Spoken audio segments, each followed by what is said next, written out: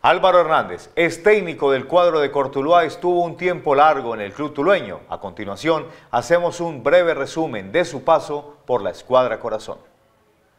El profesor Álvaro Hernández, luego de dirigir a Leones de Itagüí y en la Liga Antioqueña, llegó a la Corporación Club Deportivo Tuluá. A principios del 2018, Hernández hizo su debut como entrenador de Cortuluá en el estadio 12 de octubre, compromiso que perdió contra su similar de Atlético de Cali, un gol por cero. Tuvo un torneo águila con un rendimiento irregular ubicándose quinto en la tabla de posiciones, pero tuvo que esperar hasta la penúltima fecha para entrar a la etapa final. En las finales le tocó el grupo más duro, conformado por Cúcuta, Real Cartagena y Llaneros. Quedó por fuera de la final a manos de Real Cartagena en la ciudad de Barranquilla tras caer tres goles por uno. En lo que va del año 2019 cosecha tres victorias, un empate y dos derrotas. Los dos partidos que se perdieron fueron letales, al ser vencido por Deportes Quindío en casa y con Llaneros de visita, compromiso que tenía la ventaja en el marcador y terminó por debajo en el resultado. Hoy el estratega Álvaro Hernández y sus colaboradores se despiden del conjunto tulueño.